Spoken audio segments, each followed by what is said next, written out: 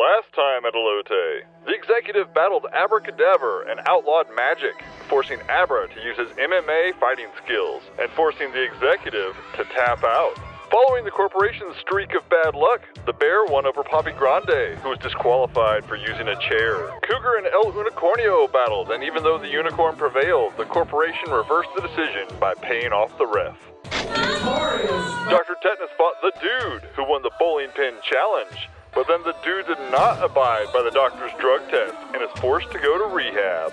The grasshopper clashed with the corporation's Big Tobacco, but was smoked out by the black lung of Big Tobacco.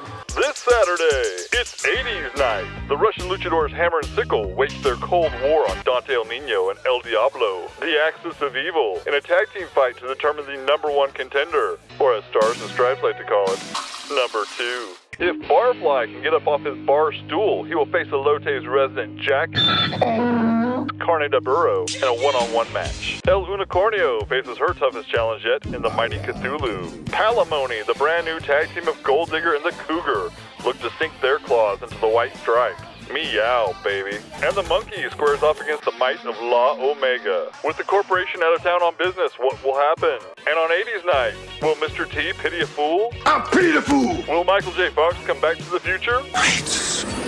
Will Gary Coleman interfere in a match? What you talking about, Willis? Or will El Zombie moonwalk all over you? Luchador Night, Saturday, Elote. The action starts at 8.30. Be there.